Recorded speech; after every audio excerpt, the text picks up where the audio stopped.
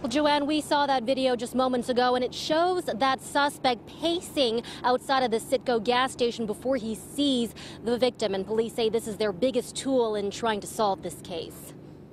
For hours early Thursday morning, Detroit police gathered evidence at a Citgo gas station where a young man in his 20s was shot and killed on the city's east side.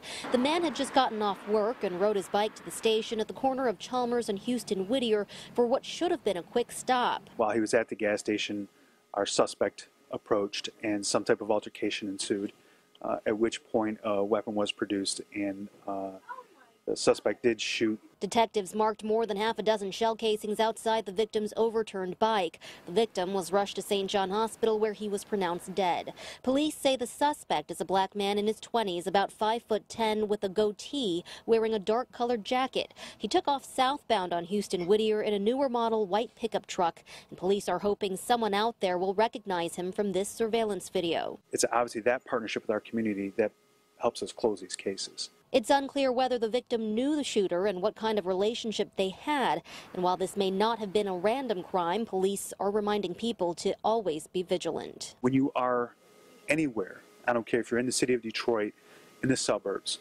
you should always be mindful of your surroundings that late at night. Be mindful of what's going on around you. Be mindful of the activity and the people that are around you. The victim has been identified, but police are not releasing his name at this time. Anyone who may recognize the suspect in that video is asked to contact Detroit Police or Crime Stoppers. We're live outside Detroit Police headquarters. Jane Park, 7 Action News.